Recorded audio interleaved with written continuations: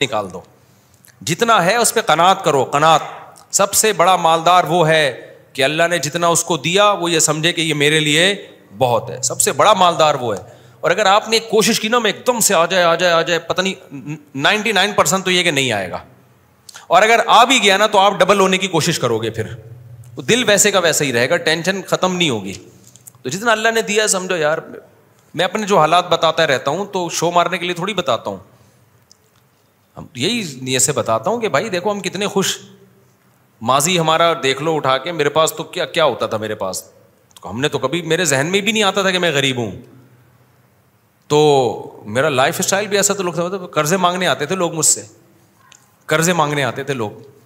तो क्योंकि हम समझते थे अपने आप को बहुत, क्योंकि हमने ज़रूरतें महदूद की हुई थी। मैंने ये किया हुआ था कि मेरी ज़रूरत दो टाइम का खाना है, अगर तीन टाइम का मिल जाए तो वो गरीबी है, वो अयाशी है। तो मुझे तीन टाइम का खाना हमेशा से अल्लाह ने दिया है। लिहाजा मैंने समझा कि मैं हमेशा अयाशी करता आया और तीसरा टाइम है नाश्ता। और नाश्ते में अंडा और पराठा मिल जाए तो मैं समझता था ये अयाशी से भी ऊपर की चीज़ है। तो मुझे तो हमेशा से अंडे पराठे मिलते रहे। समझते हो? और अगर वो अंडा देसी हो, अब मैं देसी अंडे खा रहा हूँ, अल्हम्दुलिल्लाह। आप लोग कहीं नज़र ना लगा दें। तो मैं समझता हूँ, जरदारी तो कुछ भी नहीं है मेरे सामने। समझ रहे हो? कुछ भी नहीं है यार। तो फिर अगर हमारे पास महीने के आखिर में बचे, ना बचे तो फिर क्या टेंशन यार? हमें जब लग्जरी से भी ऊपर की लाइफ मिल रही घर का जब मेरा तस्वुर ये है कि घर ऐसी जगह हो, धूप का इंतज़ाम, हवा का इंतज़ाम हो। तो बस बहुत है चाहे किराए का हो। तो मेरी ज़रूरत तो उससे क्या हो रही है? पूरी हो रही है, बेहतरीन लग्जरी से भी ऊपर की लाइफ समझते हो कि नहीं समझते? तो ये है। और सवारी में अगर आपके पास फटफटी सी मोटरसाइकिल है तो पैदल से बेहतर है वो। तो इसका मतलब बेहतरीन है। अगर आपके पास वन टू फाइव है तो लग्जरी है, गाड़ी है तो फिर तो हटो बच्चों। और अगर आपके पास गाड़ी भी बड़ी अच्छी वाली करोला रखी हुई आपने, अच्छी करो। तो आप जरदारी कुछ भी नहीं है आपके सामने। हकीकत बता रहा हूँ मैं, जरदारी तो इन बातों पे हंसेगा। जरदारी साहब बोलेंगे, यार, तुम्हारी क्या क्या गरीबों वाली, गरीबों? कैसी बातें कर रहे हो तुम बैठ के? लेकिन भाई, हम तो इसको क्या समझते हैं? मुसाफिर खाने को इतनी चीज़ें मिल जाएँ, और हमारे अमाल तो ऐसे हैं कि एक निवाले के भी हम मुस्तक या तो हमने अल्लाह के लिए बड़ी कुर्बानियाँ दी हो ना। हम कर क्या रहे हमारे अमाल क्या है? हमें तो एक निवाला भी अल्लाह दे दे तो उसका करम है भाई। तो इसलिए जो मिल रहा है, हम उसको अपनी ज़रूरत से बहुत ज़्यादा बहुत ज़्यादा समझें। और मैं तो वैसे ही यानी यूँ समझो कि अल्लाह की नेमतों के समंदर में डूबा हुआ हूँ। आज से नहीं हमेशा से। आज से नहीं आज तो लोग रीवो देख के कहते हैं अबे ज़ाहिर है तुम नहीं डूबे हुए तो किसको? ये भी तो गरीबों की सोच है रीवो देख के आज समझना किसी को। जरदारी इस, इसको गुर्बत समझता है। समझ रहे हो? इसलिए देखो जेब से बेशक गरीब हो जाओ दिल से गरीब ना हुआ करो। दिल का गरीब पता है कौन होता है? वो जो किसी की गाड़ी देख के कहता है, ये देखो अयाशी हो रही है। ये क्या है? ये दिल का गरीब है। और जेब का गरीब तो कोई बुरी बात नहीं, वो तो अल्लाह की तरफ़ से होता है। जेब का गरीब हो, दिल से मालदार हो, वो वो होता है जिसको जितना मिले वो समझे, अल्लाह का दिया बहुत कुछ है। तो आजकल जो मसला आ रहा है ना, जो दिल के गरीब मार्केट में आ रहे हैं, ये करोड़पति भी हो सकते हैं। तो दिल की गुर्बत बहुत बुरी चीज़ है तो दिल में बादशाहों जैसा दिल रखो, बोलो, भाई, मेरी ज़रूरत दो टाइम की रोटी थी, लेकिन अल्लाह ने क्या दिया है मुझे? तीन टाइम दिए मेरी ज़रूरत सुबह नाश्ते में चाय भी मिल जाती तो भी काफ़ी थी, लेकिन अल्लाह मुझे क्या खिलाता है? कभी पराठे खिलाता है, कभी एक मेरी ज़रूरत पूरी नहीं हो रही, मुझे मलाई रोज़ाना चाहिए होती, लेकिन मलाई मुझे डेली ये बहुत मैं सब्र कर रहा हूँ, इस पर क्या कर रहा हूँ? ये सोच के सब्र करता हूँ कि यार अंडा भी मिल जाता है, पराठे भी मिल जाते हैं, उसको हलक में उतारने के लिए चाय भी मिल जाती है। अब एक दिन अगर मलाई का नागा हो जाए तो फिर मैं समझता हूँ सब्र का सवाब हासिल करो। अब देखो ये हम लोग का क्या सब्र है। यार क्या होगी एक दिन मलाई नहीं मिली। तो कितनी बड़ी अल्लाह की नेमत है। अब ऐसा ना हो आप मलाई के हदिये लाना शुरू कर दें। मलाई जो दूध से उतरती है ना, ऐसे गरम गरम वो होती है। इट इज़ कॉल्ड मलाई। जो फ्रिज में जाके जम गई, वो मलाई नहीं है। और आजकल डॉक्टर लोग भी कह रहे हैं, खाओ ये चीज़ें। पहले मना कर रहे थे, अब कह रहे हैं, खाओ। जब खुद चक्के देखा ना डॉक्टरों को मज़ा आया, उन्होंने कहा, खाओ। पहले मना करते थे डॉक्टर अच्छा खैर। तो तो भाई शुक्र करो, अपने किस्से सुनाना मकसद नहीं है, बताने मकसद है, हम सब अल्लाह की नेमतों के समंदर में डूबे हुए हैं। अपने बारे में ये ना कहा करो कि परेशान हूँ, बोलो, भाई इतनी नेमतें नज़र लगने का खतरा है। मैं तो अपने बारे में हमेशा से ये सोचता लोग, जब मैं कहता हूँ ना अपने बारे में सोचता हूँ, लोग कहते हैं, हज़ार है याशी कर रहे हो। तो भाई हम पहले भी इसी नई नेमतों में खुश थे। जब हमारी तनख्वाह होगी, मेरा ख्याल है आठ, चार हज़ार मुझे यहाँ से मिलते थे मस्जिद से। उसमें गुजारा कर रहा था मैं और दस पंद्रह वहाँ से मिल रहे होंगे। तो उसमें भी हमारे यही सोच थी कि अयाशी कर रहे हैं भाई हम तो पराठे उस वक्त भी चल रहे थे हमारे। तो हम उस वक्त भी अयाशी कर रहे थे। दो, तीन टाइम की, आप कहते हो कि विटामिन पूरे नहीं होंगे अगर ये ना मिले। और भाई, गरीब का अल्लाह ने सेहत का उसूल कुछ और रखा है, अमीर की सेहत का उसूल। अमीर को सारे विटामिन चाहिए।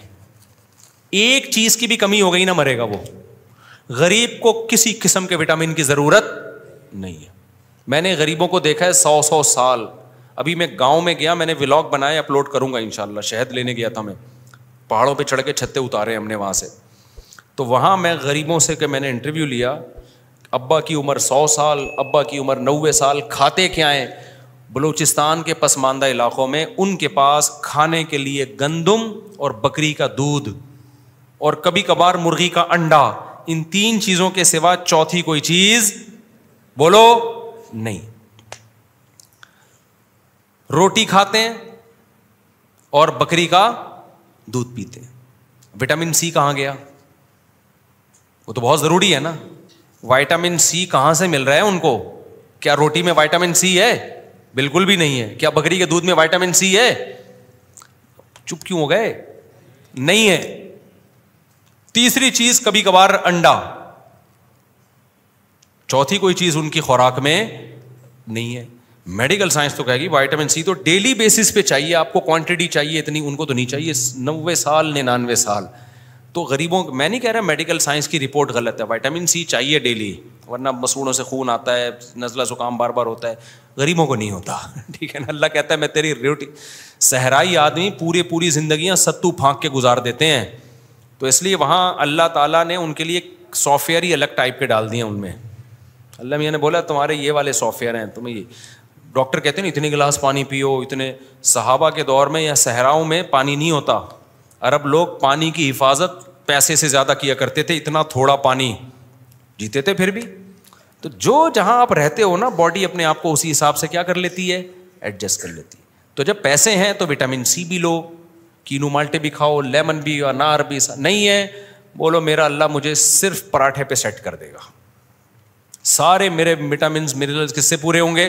पराठा तो गलत है रोटी से। वो अच्छा इतना लगता है मुँह से निकलता ही पराठा है। तो रोटी पे अल्लाह सेट कर देगा। इसलिए टेंशन ना लिया करो।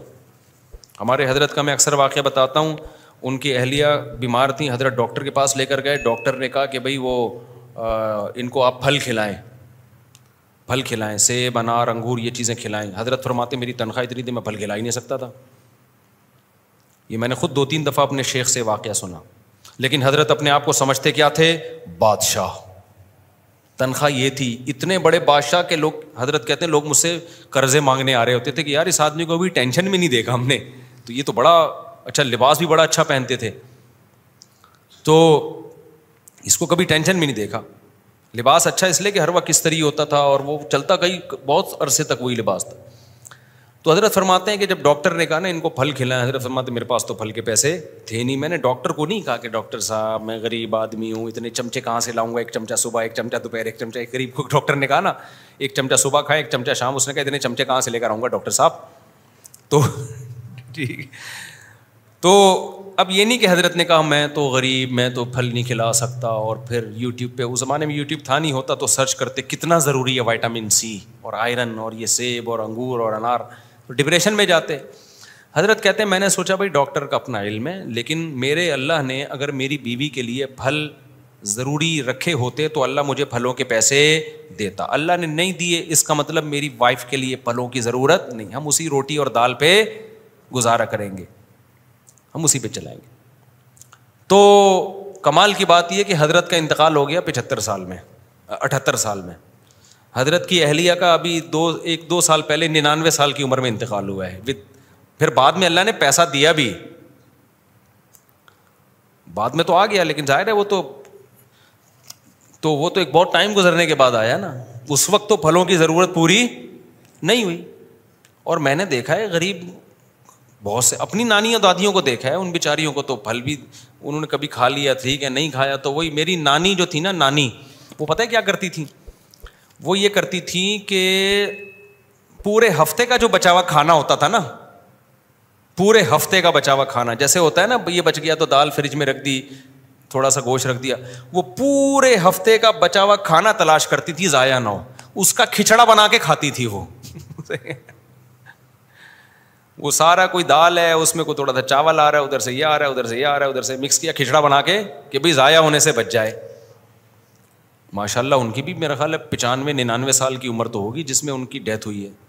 निन्यानवे साल तो और बड़े खुशी खुश खुर्रम ज़िंदगी गुजारी। मैंने तो नहीं देखा उनको कभी विटामिन सी और विटामिन ए और विटामिन बी और विटामिन डी। करें ज़रूर, ये भी ज़रूरी है, लेकिन जिसके पास पैसा है। नहीं है बोलो, अल्लाह, मुझे सूखी रोटी में सारे मिनरल्स और सारे विटामिन अल्लाह पूरे करेगा। क्योंकि जो खुश होता है ना, उसके सारे विटामिन पूरे होते हैं। जो स्ट्रेस और डिप्रेशन में जाता है, वो कम बहुत कीले भी खा लेगा ना तो आयरन की कमी पूरी लोहे के कीले भी खाएगा तो आयरन की कमी पूरी नहीं होगी उसकी। समझते हो? तो खुश रहा करो, पैसों की टेंशन ना लिया करो। फिर वही लोग कहते हैं, बीवी टेंशन देती है। तो बीवी को टेंशन ना समझो, बोलो, बेगम जो है, यही खाना पड़ेगा भाई। मैं एकदम से पैसे वाला नहीं बन सकता। खाओ, यही सूखे पापे हैं, चाय में डबो के खाओ। लाइफ को क्या करो? फिर जब बेगम ये रिपोर्टें पेश करें ना, कि देखें एक्चुअली एक एक एक बैलेंस डाइट होनी चाहिए हमारी लाइफ में। ये बहुत आजकल यूट्यूब से सुन सुन के ना देखें एक बैलेंस डाइट होनी चाहिए। हमारी, हमें विटामिन डी चाहिए, फिर हमें विटामिन ए चाहिए। आप बोलो, आपको बेगम कुछ नहीं चाहिए। आपको आपको, ये मैं कहने वाला था, एक थप्पड़ चाहिए, लेकिन ये नहीं चाहिए, बुरी बात है। ये ऐसा ना लोग बिला वजह अपनी बेगमों को मारना शुरू कर दें। उनको बोलो, बेगम, मेरी जेब में जो कुछ है, मैं उसी पे गुजारा करूँगा, और मेरे मेरे शेख का वाक़ सुना दें, उनकी बेगम को भी फल चाहिए थे, उसके बगैर निन्यानवे साल चली हैं वो। तो बेगम, मेरे पास पैसे होंगे, मैं कंजूसी नहीं करूँगा। पैसे नहीं है तो मैं हाँ ये नहीं कि खुद छुप छुप के कम बहुत बादाम पिस्ते खा रहा है, मर्द। ये गलत हो जाता है। बाज मियाओं ने अपने बादाम पिस्ते छुपाए हुए होते हैं और खुद बाहर जा जाके निहारियाँ फोड़ रहे हैं। बेगम को कहते हैं, बेगम, मेरे पास तो गुजारे के लिए कुछ भी नहीं। तो ये गलत हो जाएगा। हदीस में आता है, जैसा खुद खाओ, वैसा उसको खिलाओ, जैसा खुद पहनो, वैसा उसको पहनाओ। तो बेगम से बोले, बेगम, मेरी अल्लाह सारे विटामिन की कमी इस सूखी रोटी से पूरी करेगा। इन तुम्हारी भी कमी और ये वो बेगम बात कर रही होती हैं जो इतनी हो चुकी होती हैं। पूरा मिनरल्स का और विटामिन का डब्बा होती हैं वो। वो ये कह रही होती हैं कि एक्चुअली लाइफ कैसी होनी चाहिए बैलेंस डाइट होनी चाहिए। डाइट ही नहीं होनी चाहिए। जब जाके इंसान सेट होता है, इस्लाम जो हमें सिखाया है वो डाइट को कम करो। छोड़ दो खाना पीना, शदीद भूख लगे तो थोड़ा सा खाओ, बस। असल तो ये है फिर फिटफाट रहोगे इनशाला हबीब